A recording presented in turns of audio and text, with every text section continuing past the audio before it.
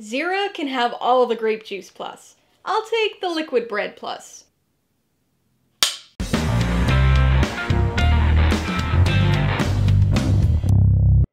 Hey everybody, welcome to Mainely Movies. Continuing my Planet of the Apes review series, today I'm going to be talking about the third film in the franchise, 1971's sci-fi sequel, Escape from the Planet of the Apes. If you're new here, please consider subscribing for a variety of movie-related content, like reviews, rank lists, and trailer reactions. All my reviews include a breakdown of the pros and cons, my rating, and some tailored film recommendations, so be sure to watch through to the end of this video for all of that extra content.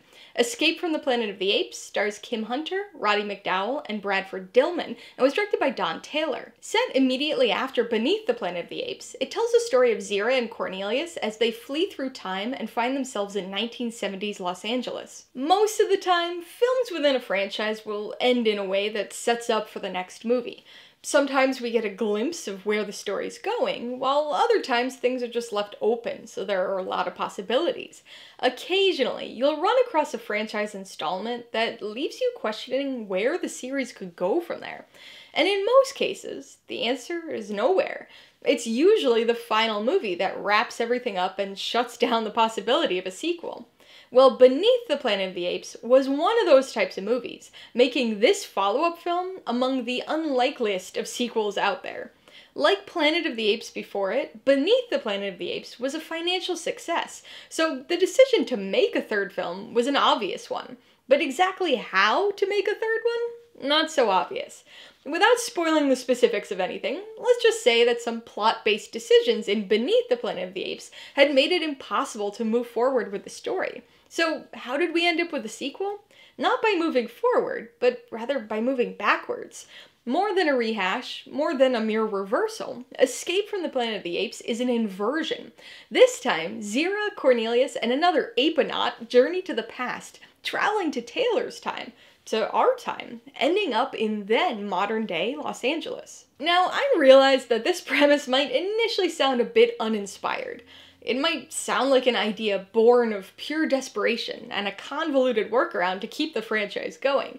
I can see that there's a bit of unlikely overconvenience to get us to the start of this film, but this movie, in and of itself, is actually surprisingly good.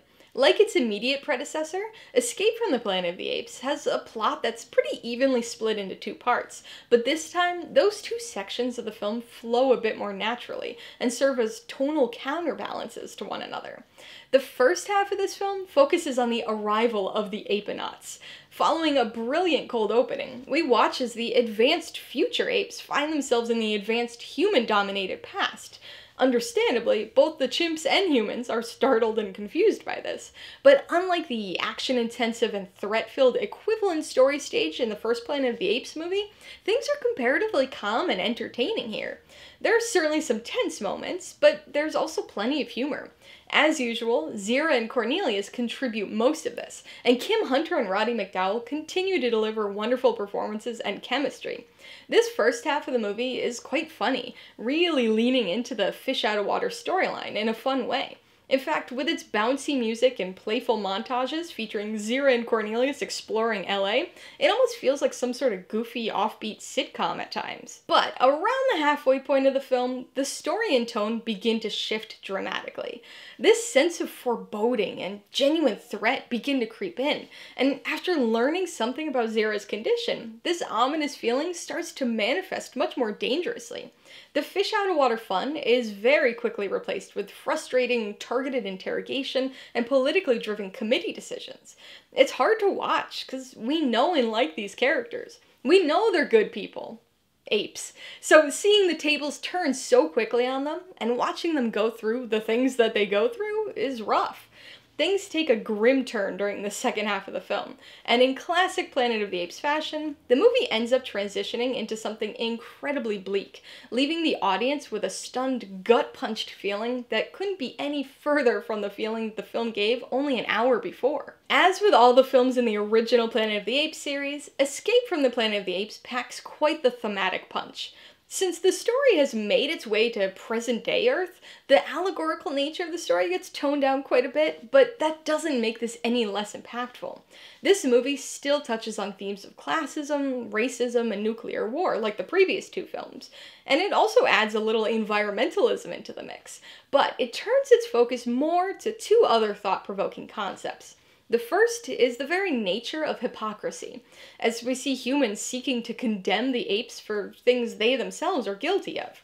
It's interesting because it takes the allegorical role reversed themes of the first film, but makes the characters aware of them too, rather than just the audience.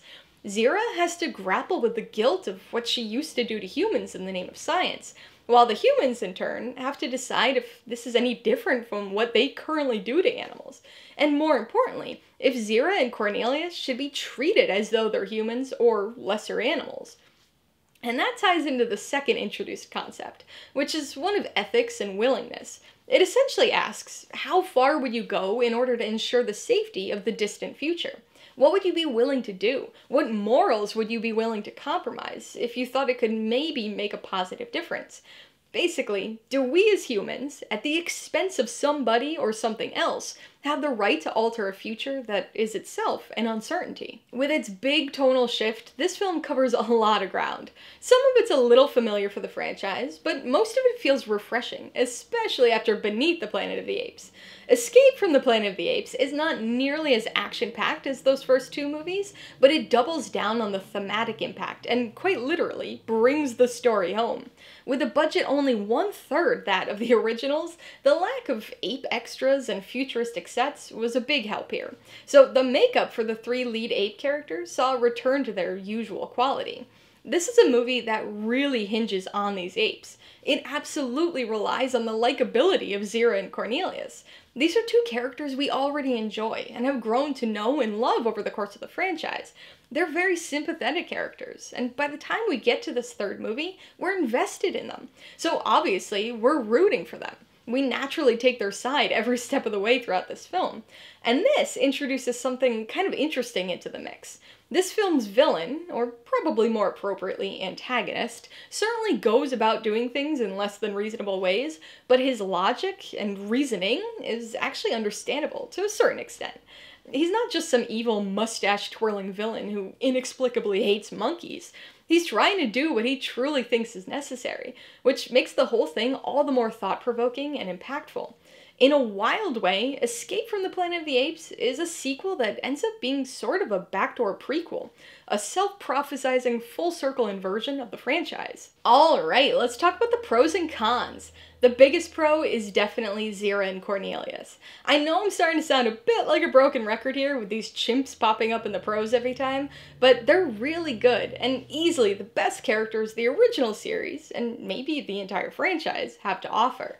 After a disappointingly limited role in Beneath the Planet of the Apes, not only are Zira and Cornelius back, but they're the main characters. No Taylor, no Brent, this is absolutely their story, and they bring all the humor, chemistry, and impact we've come to expect from them.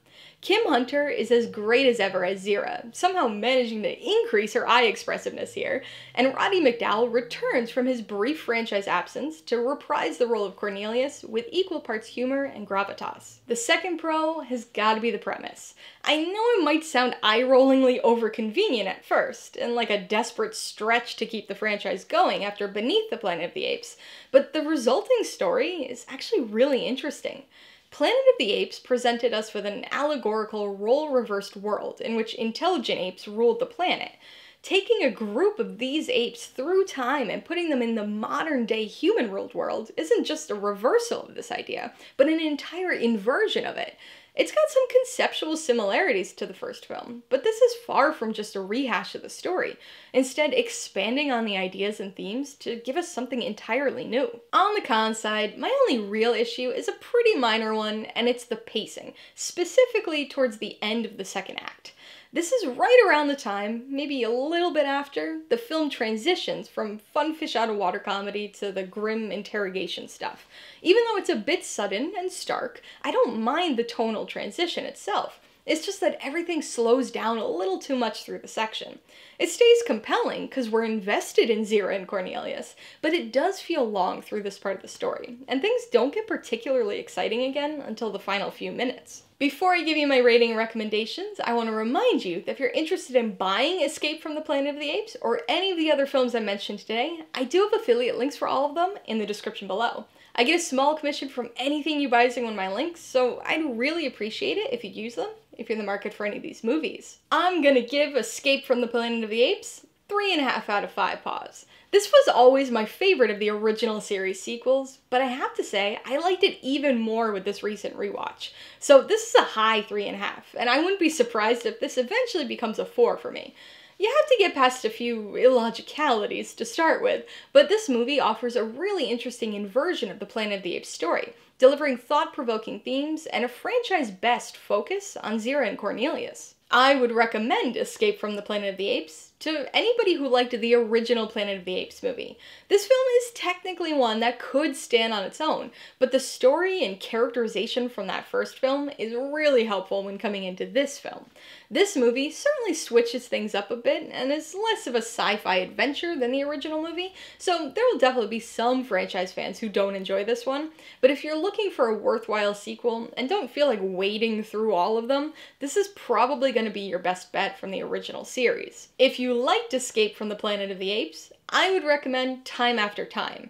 This is another interesting 70s sci fi time travel story that manages to nicely balance its fish out of water fun with a thrilling race against time. Rather than a spaceship, author H.G. Wells uses a time machine of his own construction to chase after Jack the Ripper, with both men traveling from 1890s London to 1970s San Francisco. If you want another thought provoking sci fi film, you should check out The Day the Earth Stood Still. This is a thematically packed story about an alien sent to warn the people of Earth about the consequences of their nuclear proliferation and current destructive path. It's a film full of human paranoia and explores moral relativism in a fairly profound way. And if you'd prefer something outside of the sci fi genre, you might want to watch Magnum Force. This second film in Clint Eastwood's Dirty Harry film series takes the premise and many ideas of the first film and reverses them, giving us a non rehashed story that's pretty different.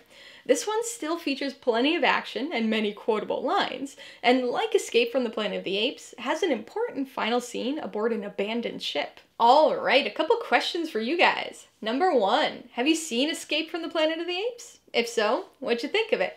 And number two, what's your favorite movie featuring non human astronauts? Be sure to leave your answers in the comments below so we can get a discussion going. Alright, so if you got some enjoyment, insider information on this review, I'd appreciate it if you'd hit that like button.